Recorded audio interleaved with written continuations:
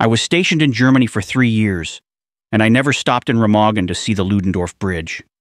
In heavy rain, I chose to risk a drone flight over the Rhine River, and I was not even sure it was legal. What is the worst that could happen? Have you ever been in a in a Turkish prison?